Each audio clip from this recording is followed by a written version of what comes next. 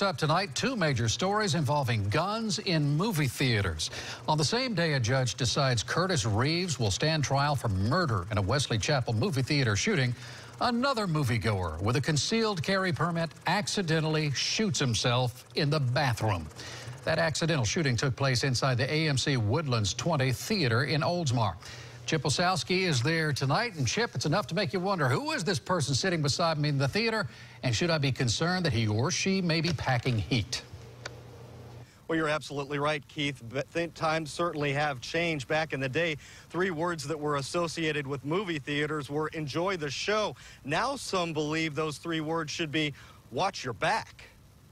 Friday night at AMC Woodlands 20, a popular movie night for people of all ages, most patrons not realizing that hours earlier, Pinellas County Sheriff's deputies were investigating a shooting here, albeit an accidental shooting where a concealed carry permit holder tried holstering his gun in a bathroom when it went off, wounding him. It's another case involving a gun in a movie house.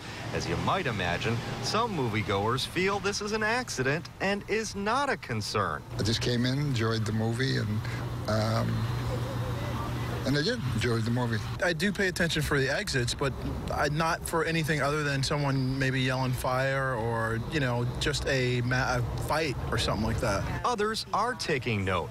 Who knows who's armed and who's not? How quickly can you get out? if there is a problem. High profile cases like Curtis Reeves the retired Tampa police captain who shot and killed another patron after an argument in a Wesley Chapel theater? And what about the mass shooting in Aurora, Colorado?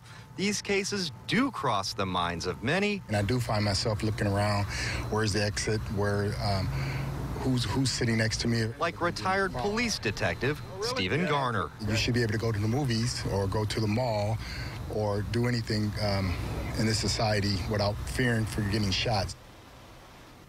And authorities identified the man involved in this accidental shooting as 26-year-old Nathan Schrage. He accidentally shot himself in the hand. Paramedics rushed him to Tampa General Hospital. His injuries not considered to be life-threatening. Well, Chip, as we mentioned, this guy had a concealed carry permit, but you were also telling me earlier, earlier that AMC has a policy against bringing guns into their theaters. Absolutely, Keith. And I did check, and they do have signs on the front doors that say no weapons allowed. And although no one with AMC, the theater chain, returned my phone calls this evening, I did check online, and they do have a no weapons policy for the entire theater chain. Chip Osowski live in Oldsmar tonight. Thank you, Chip.